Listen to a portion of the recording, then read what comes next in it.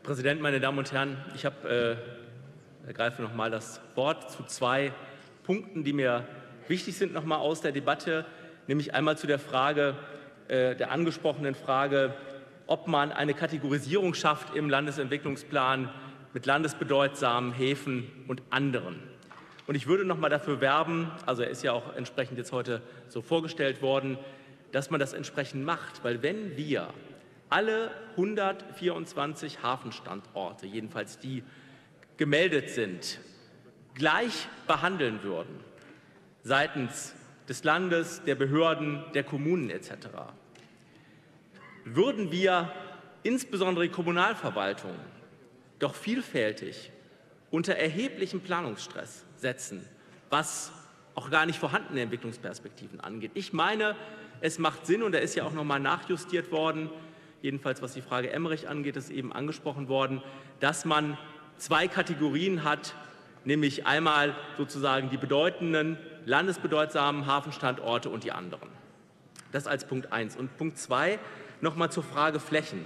Selbstverständlich braucht wirtschaftliche Entwicklung auch ausreichend Flächen. Das ist völlig unbestritten. Aber der Aspekt von Nachhaltigkeit, also von Grünflächen, von Retentionsräumen am Rhein ist ein relevanter. Und ich möchte noch mal dafür werben, dass man Umweltpolitik nicht immer nur in Sonntagsreden betreibt. Eben ist, eben ist der Chef der äh, Duisburger Häfen angesprochen worden, Herr Starke, der mit Sicherheit seine Leistungen und Verdienste hat, äh, was den Hafen angeht, was die Entwicklung des Hafens angeht. Aber ich erinnere mich an die Vorstellung in den Rheinterrassen unseres Konzeptes. Und da war er ja auf der Bühne in einem Talk und in jedem dritten Satz meinte er äh, sozusagen äh, Nachhaltigkeitsaspekten, Klimaschutzaspekten und überhaupt den Einfluss der Grünen in der Landesregierung äh, einen Seitenhieb verpassen zu müssen.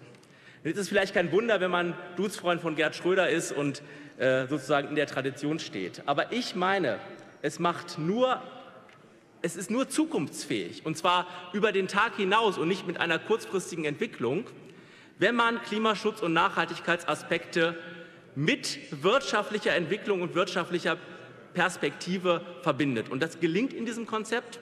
Deswegen werben wir auch dafür, das entsprechend umzusetzen. Aber es macht aus unserer Sicht keinen Sinn, immer Krokodilstränen zu weinen, wenn wir dann Starkregenereignisse haben, uns die sozusagen Bäche und Flüsse wegspülen, wenn man sich andere Aspekte im Bereich unserer Umwelt anguckt. Und immer wenn es dann konkret wird, wenn es darum geht, sozusagen einen Ausgleich zu schaffen zwischen den berechtigten wirtschaftlichen Interessen und eben in der Flächenpolitik auch dem Rückhalt von Grünflächen, dann äh, kommt es dazu, dass man sagt, naja, also für die wirtschaftliche Entwicklung muss entsprechend alles abgeräumt werden, nur damit die wirtschaftlichen Perspektiven gut sind. Gute wirtschaftliche Perspektiven gibt es nur in der Kombination aus Nachhaltigkeit, Klimaschutz und eben florierender Wirtschaft und Handel. Und das gewährleistet das Konzept. Und wir würden auch an dieser Stelle noch mal dafür werben, das entsprechend zu berücksichtigen.